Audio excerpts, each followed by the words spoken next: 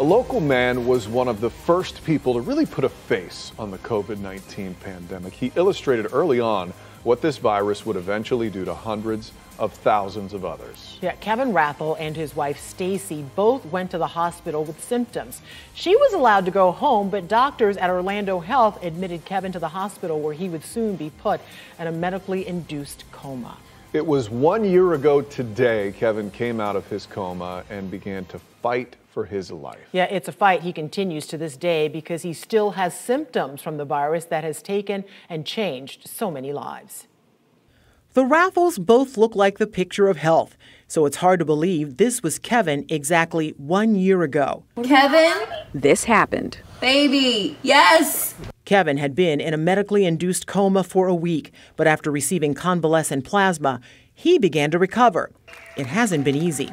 He is what doctors call a long hauler, still fighting the effects of COVID long after the virus has left his body. You know, just getting up and around and being able to move.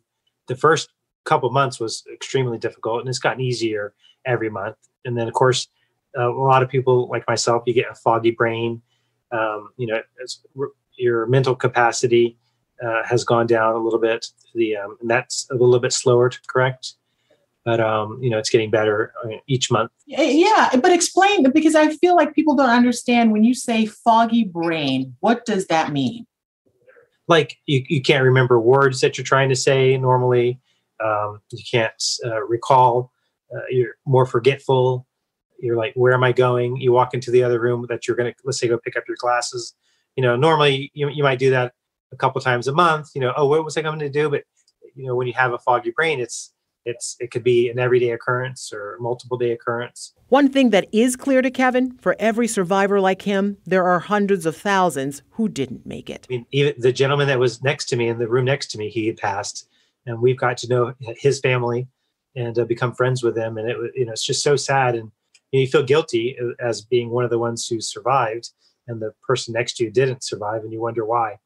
Um, but you know they're able to love us, and we've been able to love them back, and and so I'm, I'm just i'm thankful for that and but then you know you're, you're sorrowful for the losses that you know and it, just it's serious and people need to understand that it's serious the Rathels see hope on the horizon with more and more people getting vaccinated, but they haven't gotten their shots yet because they still have the antibodies. So we still have the antibodies right now. So oh. we haven't had to we haven't had to go down that road yet as as well. So, but um, as long as we have the antibodies, because we keep getting regularly tested because we donate.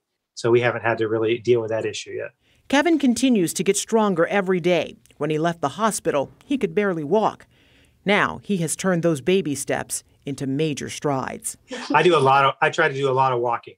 So I like force myself to and, and you know, I started off walking around the house and then I got up to walk around the house and then I'd have my son hold me and we'd do it. And then so now I can I'm up to four to six miles I can do uh, in a day. So by himself, by and he's pretty dedicated about um, doing that. I'll I'll give him that. The Rathels say the virus has changed them in ways they could have never imagined, but they believe it has also changed the people around them. And and that is so true. You know, it doesn't matter what color you are or what religion you are. This is affecting everybody.